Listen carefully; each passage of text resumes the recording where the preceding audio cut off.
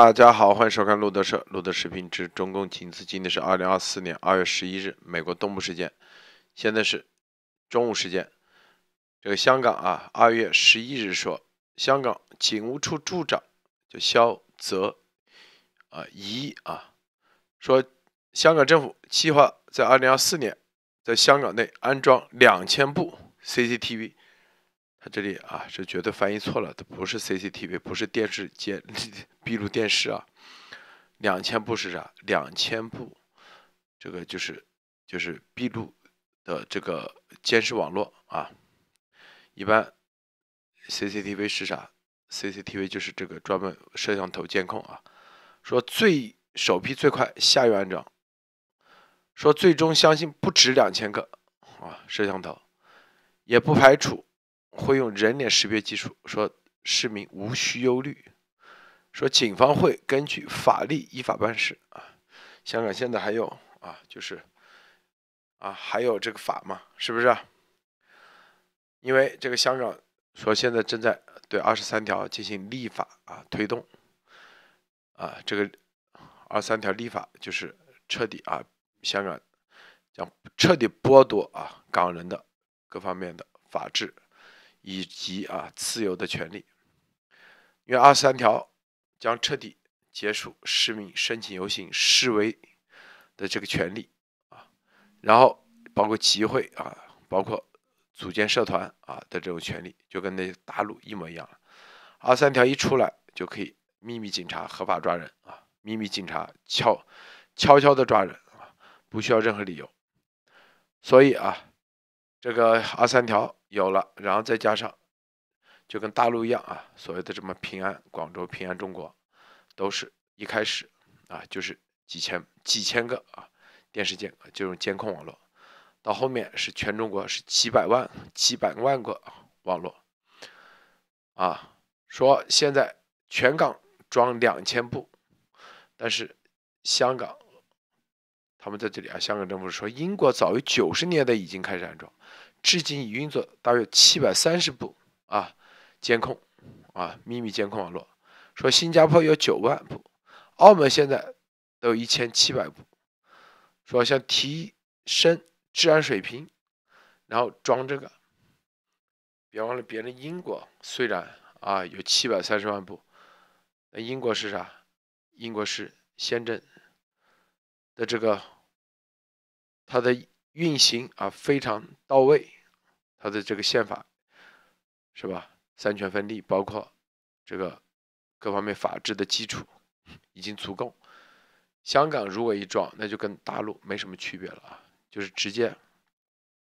啊用各种方式，比如说勾结外部势力啊的方式。你看这个周庭啊去，现在说要对他进行全面的通缉，全球通缉，终身。都要通缉啊，要把他抓回去。所以这些啊，这都是香港现在啊，要所这个自从李家超啊以这个警察的方式来做了这个特首以后，自从二零一九年香港的这个反送中运动失败以后，中共在香港基本上是得寸进尺啊，得寸进尺。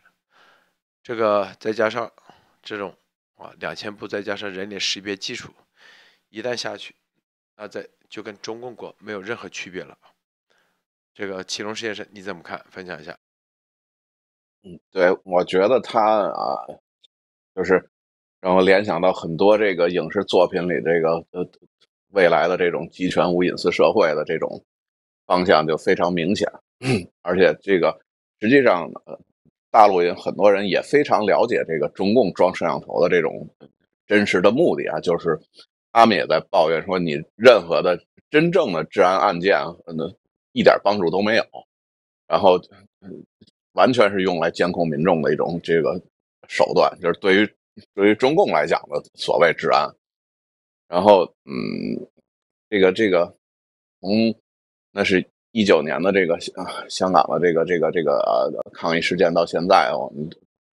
对于也很很久没有提到这个香港在中共治下的就就是那那次比较严重的这个这个事件和整个港人的这种呃，就是在在这个这个这个自由的这种被剥夺呀，然后受到这个严重的压迫，也也是需要提一提，就是要不然这个时间一长，大家又淡忘了这个中共他在。在大陆的这些行径，可能大家都已经习以为常。但是有一个最明显的例子，就是在香港的这种这种翻盘。原本香港是一个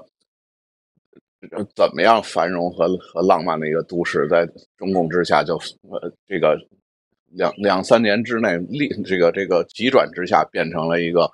就是破败不堪。然后整个从这个啊这世界金融中心之一啊，变成了一个完全。呃，没死气沉沉的一个一个城市，所以说，那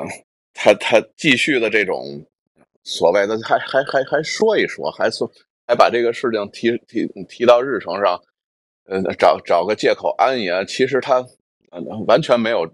任何顾忌的就做这种事儿，还 大言不惭的拿这个这种这个民主法治社会的这些这个。就是类类似的案例做做这种所谓的比较，完全不是一回事儿。就是你可以可以想象啊，就是在英国或者其他的这些国家，他们实质上的这种这种这种呃，就是也可能也装了一些监控的这个这个摄像头，但是人家肯定是有具体的，就是非常严格的这种规定，尤其在呃呃英国，它大部分是这种。交通管制的，比如说超速啊，比如违停啊，这种这种监控摄像头，大家都比较了解。而且它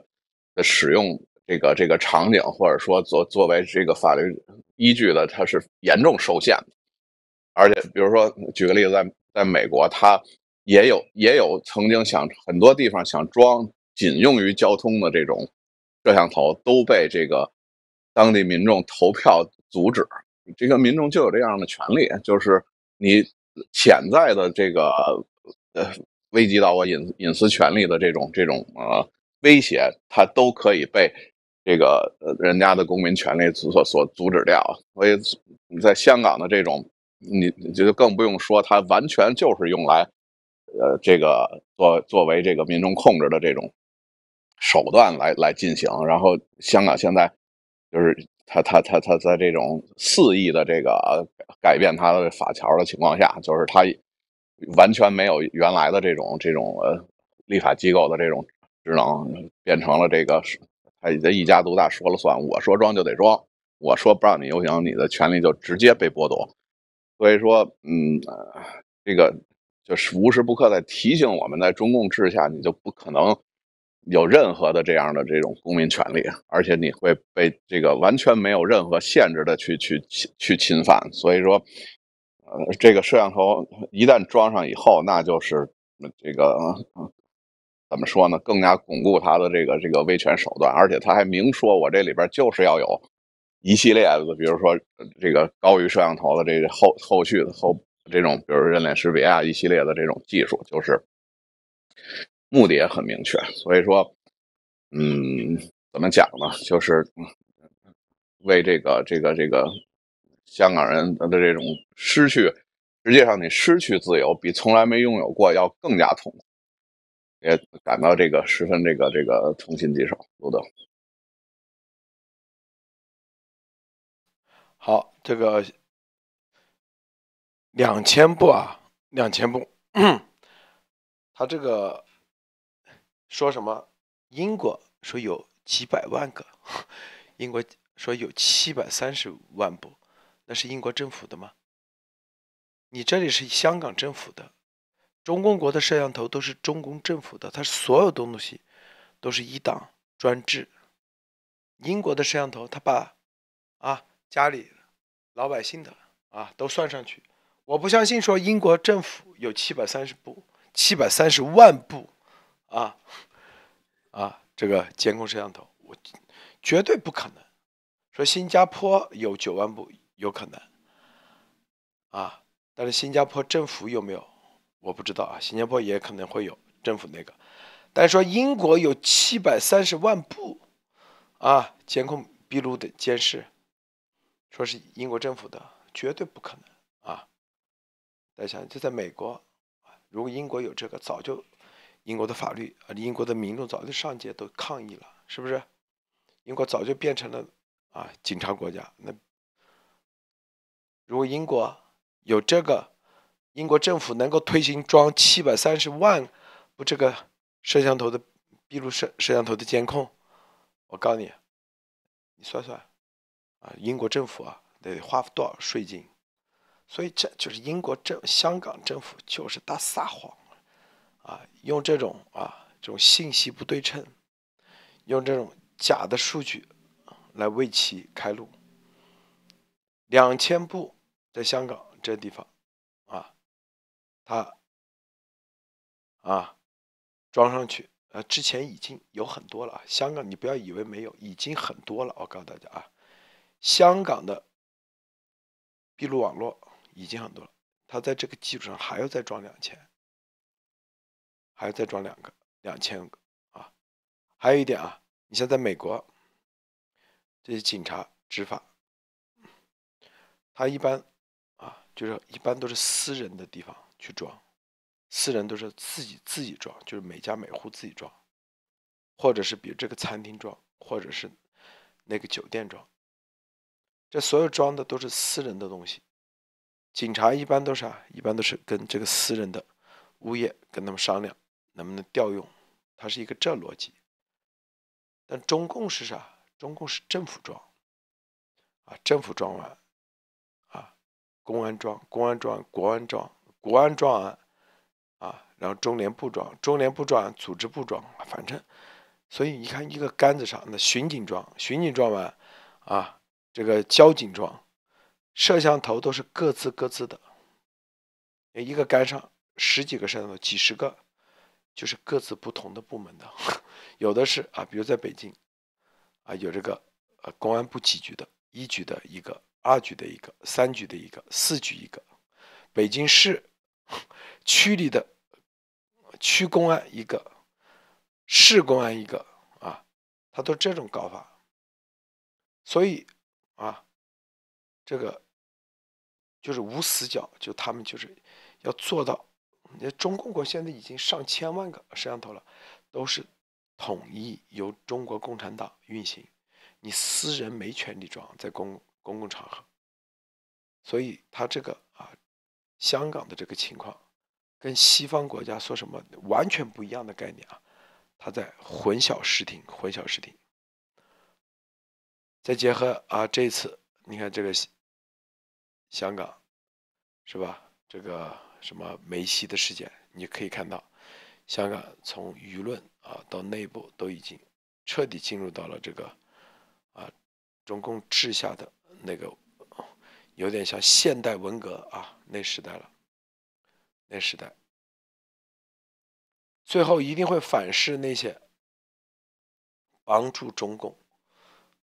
统治香港的这些这些家族，你看吧。你看这些装完这些啊闭路监视以后，中共他会进一步利用这些权利，反过来把这些什么香港的几个家族啊一个个都会清理，因为中这这因为中共的本质就是啥，就是抢片头、假片头、抢片头，你有钱他绝对不会放过，除非你主动把这个你的财产公有了。香港下一步一定就是，装完这个二十三条再搞完，下一步就是公有公有制啊，大土豪分田地。今天我们提提香港，这个西红柿你怎么看？分享一下最后啊。嗯，我觉得这个这个就是目的也非常明确，而且你刚才说的他这种混淆视听的做法也是十分卑劣，就是你怎么可能？就是跟跟这些这个呃民主世界的这些人家正常的这种这种手段相比啊，你是个是个是个，呃，怎么说呢？这个集权控制民众的手段，还非非得要这个找找个借口，还还就最关键是他还把这个数拿出来，意意思是说，哎，你看他也这么干的，我就觉得十分之搞笑。这个反正也感觉他这个。就是他在执行他这个这个这个集权暴政的这个过程当中，无处不尴尬，就是你要装你就装呗，你还出来解释什么呀？谁还不知道你是干嘛用的？其实连大陆民众都知道你是怎么回事。然后所以说，这种啊，看他搞吧，就是他他他他他，嗯，他现在是这样的，香港他还想什么呢？利用啊，他为啥要还说一下？还想，因为他既想要把香港变成像中共这样大陆的那个。他又怕这个香港对外融资欺骗这些啊西方，然后获得这个这个就是一个平台，因为香港最大的价值是啥？就是一个融资的平台。如果这个平台一旦没有这个意义的时候，香港就没什么意义了，是吧？之前两边配合的很好，香港呢伪装成是一个自由之地，一国两制。然后大量的资金通过香港投资大陆，通过沪港通啊等等啊，香港的股市来欣欣向荣，